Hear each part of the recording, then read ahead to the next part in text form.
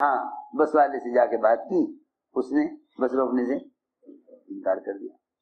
یہ آ کر بیٹھ گئے کہ ہماری ذمہ داری تو پوری ہو گئی۔ تھوڑی دیر گزری تھی، حضرت پوچھا، بھائی اصل کی نماز؟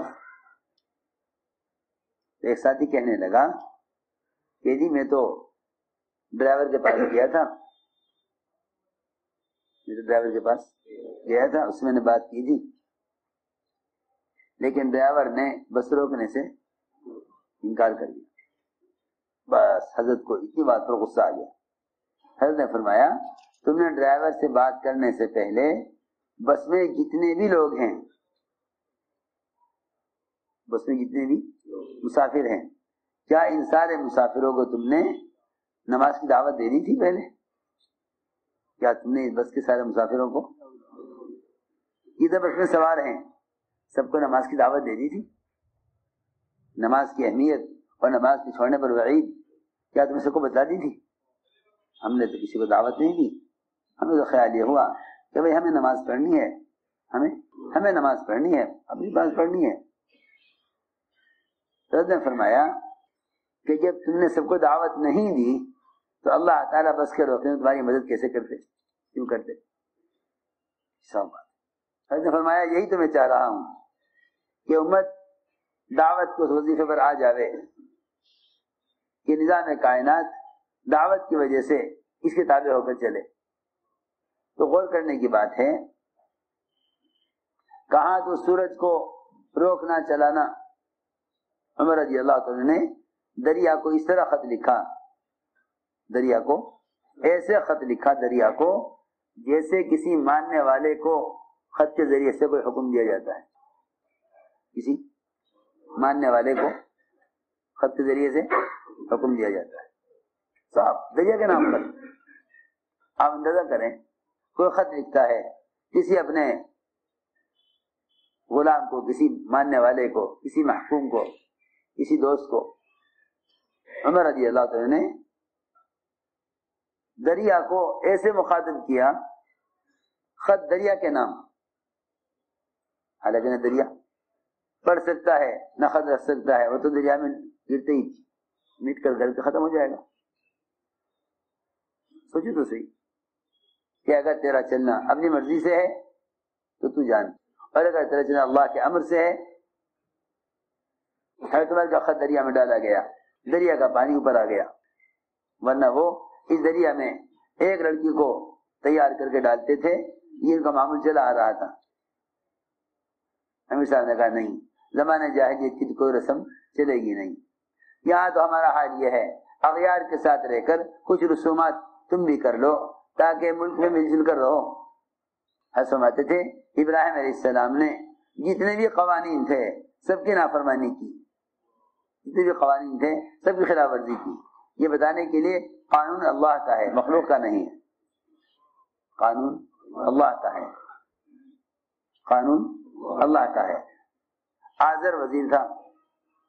آزر وزیر تھا۔ اگر قانون کی خلاف ورزی نہ کرتے تو شاید آزر کے بعد ابراہیم علیہ السلام وزیر بنتے۔ ابراہیم علیہ السلام وزیر بنتے۔ لیکن اللہ کی ذات سے ہونے، اس کے غیر سے نہ ہونے میں اتنی قوت سے کام کیا کہ وزارت سے کیا ملتی، بادشاہ نے کھانا بھی بند کر دیا۔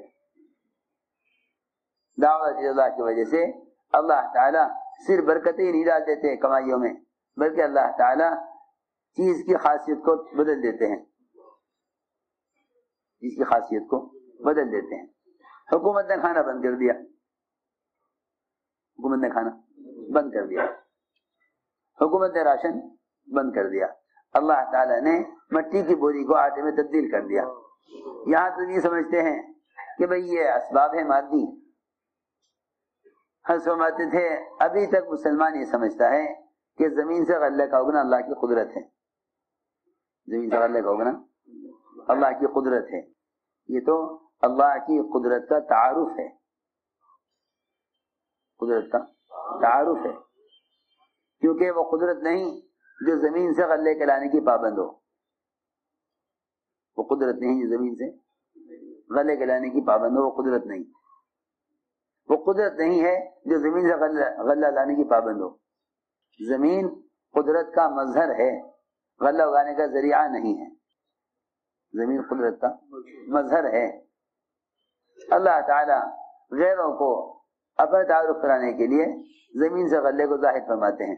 تم کھودتے چلے جاؤ گے، غلہ نہ ملے گا۔ وہ ایک دانے سے سو دانے نکالیں گے۔ لیکن قدرت یہی نہیں۔ قدرت یہی نہیں کہ زمین سے غلہ آ رہا۔ قدرت یہ ہے کہ اللہ تعالی مٹی کو آٹے میں اپنے عمل سے تبدیل کر دیں۔ مٹی کو آٹے میں تبدیل کریں۔ میں آج کر رہا کہ اخساری غیبی نصرتیں دعوت اللہ کے ساتھ ہیں۔ نے فرمایا ان ساتھی سے کہ اب بھی اگر چاہتے ہو کہ بس رکے تو یہ بس والا بس خود روکے گا بغیر کہے تم بس میں سارے سواروں کو دعوت دو۔ وہ جیسے ہی ساری دعوت دینے لگے ایک ایک سے ملاقات کی۔ ایک ایک کچھ ایک ایک کو جماعت کی دعوت دی۔ ابھی تھوڑی دیر ہوئی تھی، بس کو چلتے ہوئے کہ بس میں کوئی بات پیش آ گئی اور سامنے پانی کا چشمہ تھا، وہاں بس رک گئی۔ بس والا کہتا تھا، کوئی خرابی نہیں ہے۔ بس میں، کوئی خرابی نہیں ہے۔ تم جب پہلے میرے پاس آئے تھے، تو مجھے تمہارے آنے سے غصہ آیا تھا کہ بس روکنے والے کون ہوتے ہیں۔ لیکن جیسے تم آپس میں باتیں کر رہے تھے، میں ڈر رہا تھا کچھ ہونے والا ہے۔ وہ تو مسئلہ میں حقیقت یہی ہے۔ اللہ تعالیٰ دعوت کی وجہ سے غیروں کے دلوں میں روب ڈال دیتے ہیں۔ اللہ دعوت کی وجہ غیر کے دلوں میں روب ڈال دیتے ہیں۔ کیونکہ جو اللہ کی طرف بلانے والے کے مقابلے میں آتا ہے، اللہ اس کے مقابلے میں خود آ جاتے ہیں۔